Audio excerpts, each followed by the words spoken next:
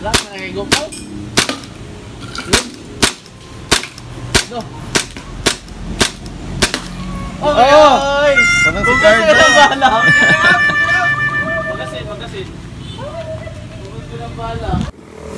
Hi guys, welcome back again to my YouTube channel, The JVTV and samahan niyo akong mag-unbox ng ah, aking bagong bili na ah, Glock 18 ng We Tactical. Yan, so ito yung box niya guys. This product is, so yun ano, this product is only suitable for 18 years old lang. Toy Sport. Ah, airsoft gas blowback siya guys. Yan. So hindi siya pwede sa mga bata and made in Taiwan. Yan ano ha guys. So, ah binili ko siya sa ah saan nga ba 'yun? Sa online shop lang rin. So binili ko siya sa La Grey Hobby Shop sa Jensen lang rin dito sa may Rivera Street, Lagaw. And meron siyang freebies. So bibili kayo sa kanila guys, meron silang free na ah syempre yung green gas. Yan, pang airsoft lang to siya eh. So I I think yung price nito nasa 400 plus per can. Kung bibili kayo ng ano, so free na sa kanila kung bibili kayo sa kanila ng ah, ganito nga ng pistol, may libre na silang isang ganito. Yan. Buff Dino. Then, meron na rin silang libreng .23 na 4,000 shots BBs JER. And meron silang free na ang kanilang design na mask. Yan. La Gray Tactical and mesh na mask. Yan. So ito yung mga free nila kapag bibili kayo sa kanila ng ah, airsoft. So open na natin guys. Yan, so sa loob ng gas meron silang owner's manual. Yan, so ito tayo. ah, Glock 18. So nandito yung mga parts niya. Yan kung paano yung proper na paggamit. Ah, tamang paglo-load sa sa inyong magazine. So kung first time nyo palang magkaroon ng airsoft na pistol, so kailangan basahin nyo muna yung manual para hindi madaling masira yung inyong mga pistol. So andito rin yung mga parts niya. Yan.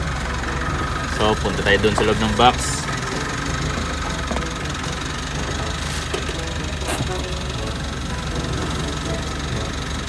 So sa loob ng box, meron tayong ah, syempre yung ating unit. And meron tayong isang magazine, na 24 rounds. 24 rounds na mag gas magazine. And meron din siyang kasama na ah, dalawang grip grip cover. Yan para sa unit natin. So kung gusto niyo magdagdag ng grip cover para mas maganda yung paghawak ninyo mamaya sa pistol ipapakita ko. And syempre yung ating unit ating Glock 18 eto na siya guys. So yan napakaganda.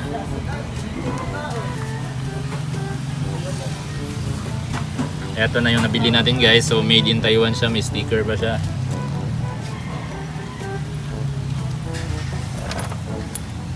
So yung metal yung slide natin is metal. And yung yung receiver naman ay polymer ito gawa sa polymer yung kanyang body. Pero yung slide natin is ah, metal. So may switch siya. Ito ah, for single then auto. Yan.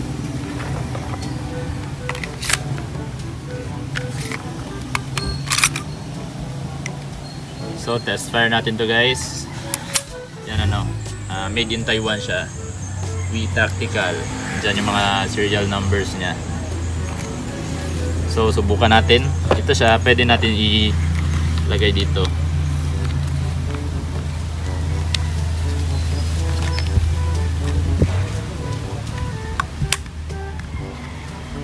Yan, para mas maganda yung grip natin.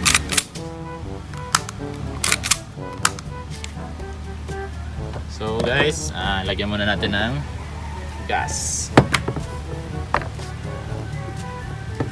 Lagyan. Lagyan natin ng gas. Kailangan sa paglagay nyo ng gas, dapat straight lang. Dahil masyadong sensitive yung pin sa magazine natin. Yun yung madalas na nasisira. Lagyan natin ng bala.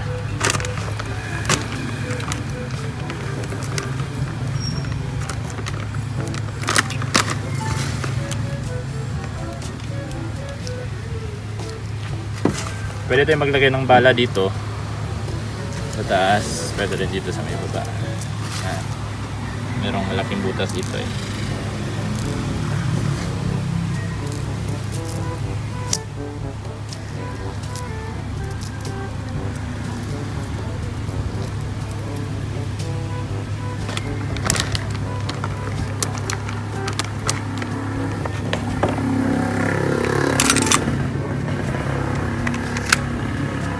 So loaded tayo guys. First shot.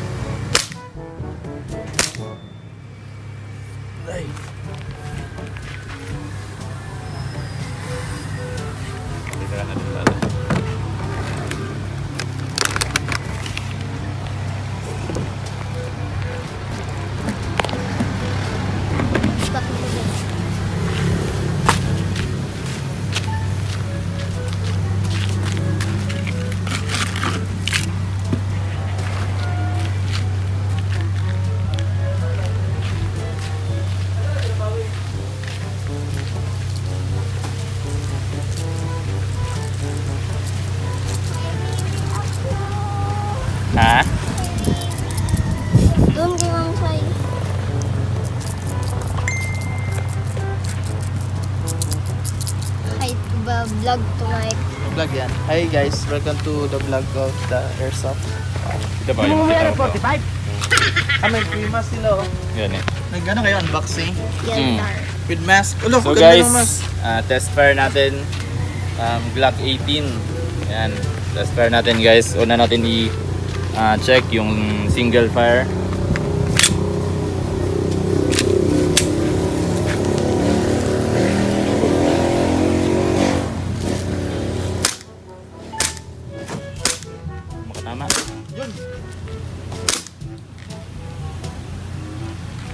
Single fire guys.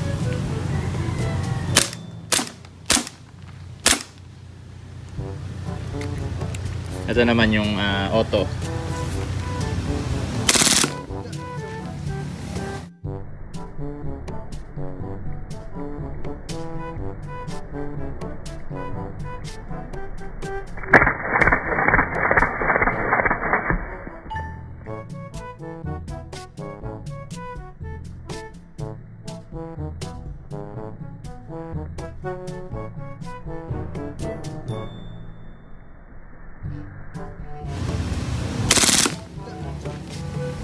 Nagulat. Nagulat yung mga naman. Dwarf malight. So yun guys, napaka-solid ng ah, Glock 18. Yan, may bala pa no. Ano to? Ah, saan? Natin ulit yung ating Glock. Ah. Maglalagay lang tayo ng ah, konting target doon guys para subukan natin yung accuracy ng ating um, Glock. So test fire, loaded na tayo.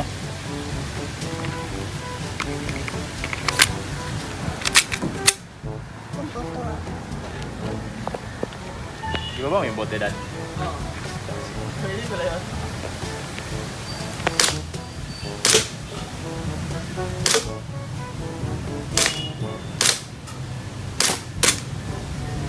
So yun guys.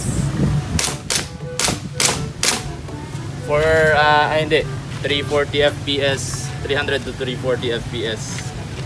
Gas blowback. So kung gusto niyo bumili guys, contact niyo lang yung page. Ilalagay natin sa link.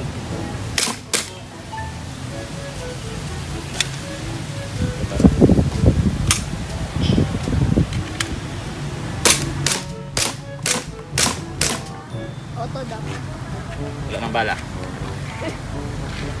Ganyan to. Ayaw, di mo naman.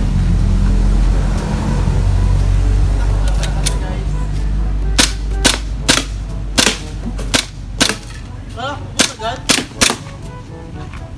Wala naman tao. Wala na target to.